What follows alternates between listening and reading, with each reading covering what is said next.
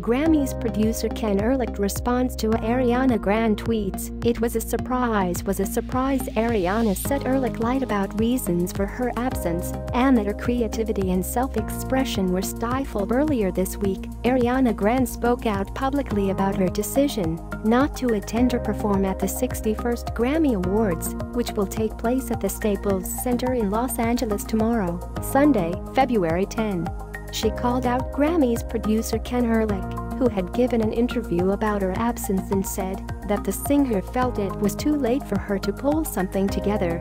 Ariana tweeted that he was lying, I can pull together a performance overnight and you know that, Ken.